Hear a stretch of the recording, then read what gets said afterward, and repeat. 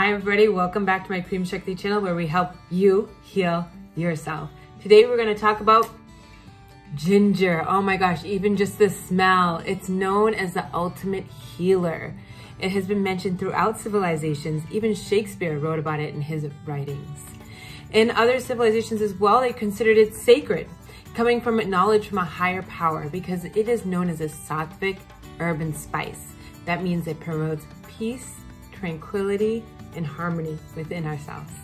Ginger is a big player in how our deep stomach fire, our Jathara Agni works. It helps stoke that fire so it can burn up the ama, which is all these toxins that can build up in our body, which causes imbalances and uncomfortability.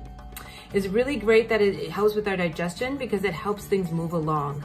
So for instance, if you have eaten something heavy or something like we most likely do in the holiday season, we have a lot of heavy foods at once, you might feel gassy, bloated, like it's not moving through, a cup of ginger tea will take you a long way.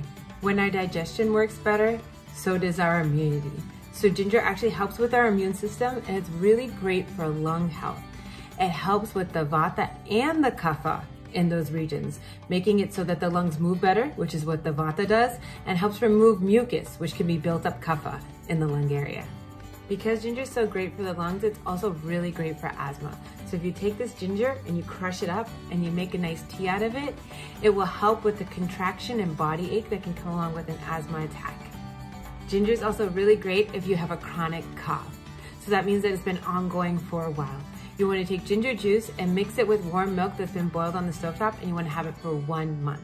However, because you've had a chronic cough, it's really great to see an Ayurvedic practitioner like me because there are other things that could be going on and the dietary changes need to be made as well to make sure that the root causes aren't continuously coming in while you're using this treatment.